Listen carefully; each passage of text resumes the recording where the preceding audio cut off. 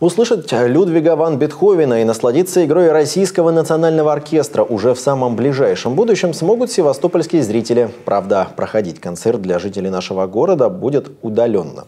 13 августа в СЦКИ состоится видеотрансляция выступления в Московской государственной филармонии.